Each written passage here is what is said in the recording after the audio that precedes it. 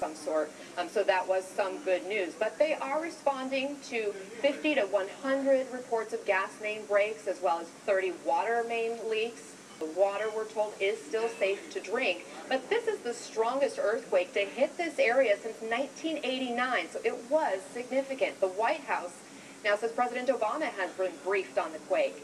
And federal officials are in touch with the state and the local responders again. They need to check state of emergency that Hoover Dam is what they the need to do. Even though it's a little farther away, right now they the still need to check that big Mark bitch. Luce. He is a member of the Napa County Board of Supervisors, and, and we have him live on camera with us. Uh, Mark, thanks so much for taking some time to talk with us. Uh, I imagine your community is, is struggling a little bit this morning. How are you doing, and how are the folks there? Uh, we're, we're very busy. Uh, we're working to assess the situation. We're really thankful that there hasn't been a loss of life. Uh, we're very regretful for those who have been injured. Um, uh, but I think we're very fortunate that it occurred when it did. If it had occurred during business hours, it could have been a lot worse.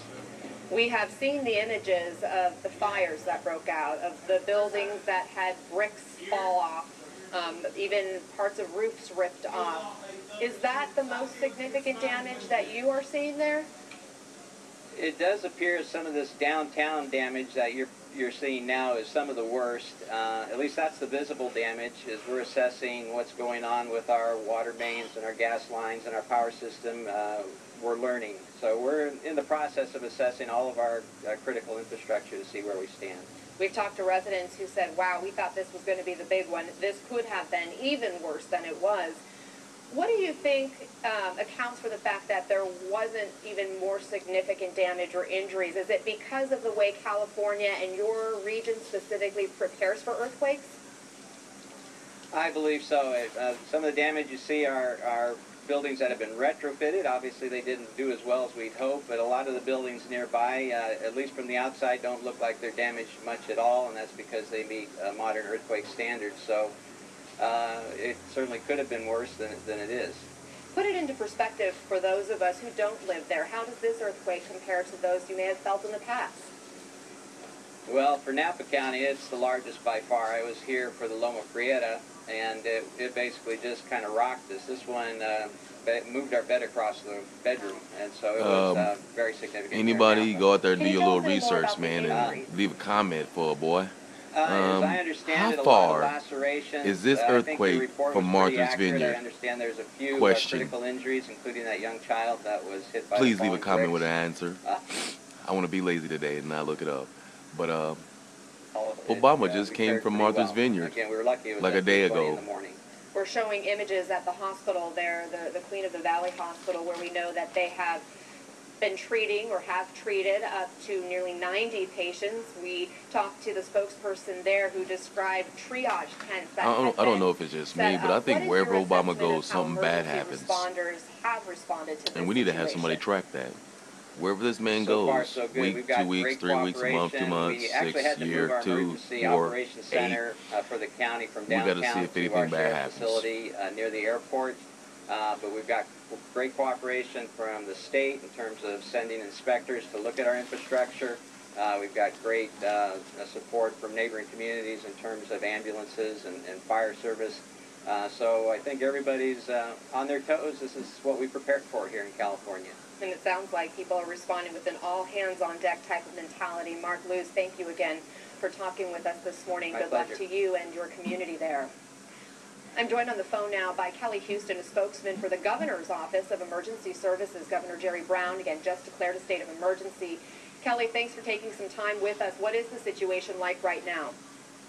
So our State Operations Center in Sacramento, which is uh, about uh, maybe 40 or 50 miles east of Napa and that area, we have our State Operations Center activated where we're looking at all of the resources on a state level that we can bring to assist the local first responders. Like you've seen, there's just a whole range of emergency first responder problems, whether it's with the fires or water main breaks or folks that are injured that are being treated by the hospitals. We dispatched three urban search and rescue teams that you would see at a building collapse. And even though we don't see that here, those teams all offer a specialty uh, expertise in uh, rescuing folks uh, that may be uh, involved in uh, in anything related to the earthquake. So we have those teams in there, and the governor's proclaimed a state of emergency, and we're working with the state agencies to go out and look at infrastructure where there could be damage to water systems, dams, and power that isn't obvious, but we need to make sure that it's inspected thoroughly because there's a lot of damage on earthquakes that just doesn't reveal itself until later. Now, we heard from Mike Parness, the Napa City manager, not long ago, who at the time said there are no people reported missing, but you have activated these Notice how many churches teams. have Um, been are hit. there other parts, Weird, right? How many in the city of churches, Napa, Catholic and Christian churches, and is just like crumbling, son. You know, it's, it, there's a lot Justice Center, look at the possibilities in an Justice Center, the corner of the Justice is falling off. What? Unidentifiable, or there may be a problem that we didn't catch or local first responders Right didn't at the catch, steps of Justice is a stack of bricks. uh, So you tell me We did that if something's not going on. We you know, having minutes birth of the pains actual here. event occurring early this morning when it was dark, and now as the light has come up, we're seeing a lot more uh, problems than we uh, may have been able to identify earlier in the morning. We heard from the USGS that up to a million people may have felt moderate to severe shaking from the earthquake. That's a lot of people in a wide region. Can you set the scene for us a little bit more about just how widespread the damage is? Well, the damage is all over the Napa County area and surrounding areas, and uh, the reason we're seeing this widespread damage is because the earthquake was shallower than normal, I guess. That's probably not a good way to describe it, but it was a magnitude 6 earthquake, but it was felt like it was a magnitude 7 earthquake, and we know that the last major earthquake that occurred in the Bay Area was a 6.9, so what people felt uh, was pretty significant, and in these cases, this uh, fault is uh, a fault that doesn't necessarily have a lot of activity, but it reveals itself, like I said, in different ways. And we felt it all the way as far away as Sacramento. We have folks over in uh, San Francisco, South San Francisco, even up into the Sierra Nevada, uh, Nevada mountains uh, felt the earthquake. So we see the fires that are burning. We see the folks that were injured. We see some of the infrastructure, like in downtown Napa, these older buildings that you have collapsing uh, uh, fronts to it.